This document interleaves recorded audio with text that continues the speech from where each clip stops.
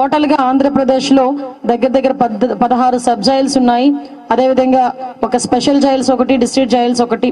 అదేవిధంగా మనకి Boston jail కూడా ఒకటి కన్స్ట్రక్షన్లో ఉంది. అదేవిధంగా మనకి ఉమెన్ ప్రిజన్ ఒకటి ఉంది సెంట్రల్ జైల్స్ రెండు ఉన్నాయి. ఓవరాల్గా టోటల్ మనకి three thousand four hundred eighty three members ఈరోజు స్టేట్ వైడ్ ప్రిజనర్స్ కింద ఉన్నారు. అందులోని సుమారు అంటే ఓవరాల్గా చెప్పాలంటే సెవెన్ హండ్రెడ్ ఓవర్ క్రౌడ్ ఉంది. ఇక్కడ కూడా రాజమండ్రి సెంట్రల్ జైల్లో కూడా ట్వెల్వ్ హండ్రెడ్ యాక్చువల్గా కెపాసిటీ ఇప్పుడు ట్వెల్వ్ హండ్రెడ్ ఫిఫ్టీ మెంబర్స్ ఈరోజు అక్కడ ఓవర్ క్రౌడ్ ఒక ఫిఫ్టీ మెంబర్స్ ఓవర్ క్రౌడ్ కూడా ఉన్నారు. అంటే ఇందులోని మేజర్గా మేము అందరం కూడా చూసేసరికి సాధారణంగా మేము గవర్నమెంట్లోకి వచ్చిన తర్వాత కూడా ఎక్కువగా గాంజా మీద దృష్టి పెడుతున్నడానికి కూడా కారణం కూడా ఇక్కడ మేము సెంట్రల్ ప్రెజెన్స్ మేము ఏదైతే వైజాగ్ ఒకసారి సెంట్రల్ ప్రెజెంట్ నేను విజిట్ చేయడం జరిగింది. అట్ ద సేమ్ టైం ఇప్పుడు సెంట్రల్ ప్రెజెంట్ రెండోదైన రాజమండ్రి సెంట్రల్ ప్రెజెంట్ కూడా మేము చూడటం జరిగింది.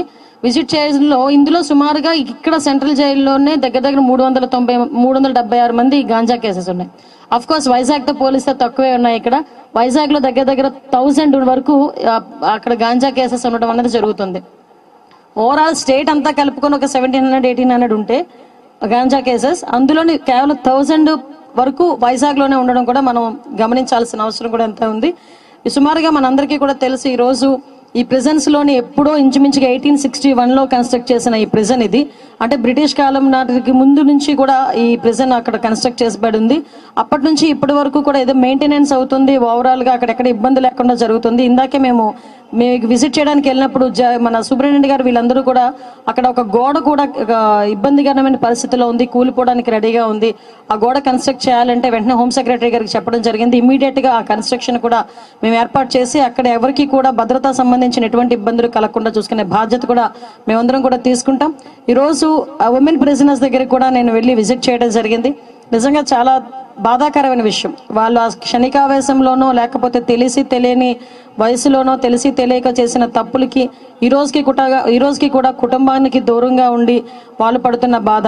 అదేవిధంగా నేను అక్కడ ఉమెన్ జైల్లో చూసిన ఫెసిలిటీస్ కూడా నిజంగా చాలా ఆశ్చర్యం అనిపించింది. At the same time happy కూడా అనిపించింది. అక్కడ అక్కడ కూడా వాళ్ళకి చిన్నపిల్లలు సిక్స్ ఇయర్స్ లోపు వరకు ఉన్న వాళ్ళ తల్లిదండ్రు తల్లితో ఉండడానికి అదేవిధంగా ఆ లోపల వాళ్ళకి అన్ని కేర్ టేక్ అనమాట సెర్లకు దగ్గర నుంచి మిల్క్ దగ్గర నుంచి ప్రతి ఒక్కటి కూడా జైల్ డిపార్ట్మెంట్ నుంచి వాళ్ళకి సపోర్ట్ చేయటం. ఇవన్నీ కూడా చూశాను. వాళ్ళతో కాసేపు ఇంటరాక్ట్ అయ్యాము. వాళ్ళకి ధైర్యం చెప్పొచ్చాం.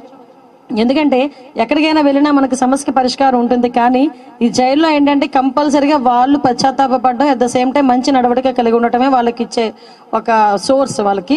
సో ఇవన్నీ కూడా మేము చూడటం జరిగింది. ఓవరాల్గా చెప్పాలంటే అక్కడికి వెళ్ళిన తర్వాత జైలు సిబ్బంది కూడా ఎవరైతే ఉన్నారో వాళ్ళందరూ కూడా వాళ్ళ తాలూకా కష్టాలు వాళ్ళ తాలూకా ఇబ్బందులు కూడా చెప్పడం జరిగింది.